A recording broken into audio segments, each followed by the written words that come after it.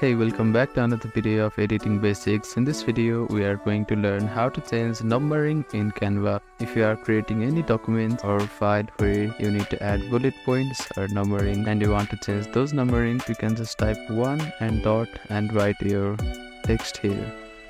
And then click on enter and it will automatically give you the next number. So if you want to change the numbering into any other forms, you can just select it and click on the three dots here. Now if you want to change this numbering into any bullet points or others, you can click on this plus icon and then scroll down until you see a bullet list. After that you can see the number has been changed to a bullet point.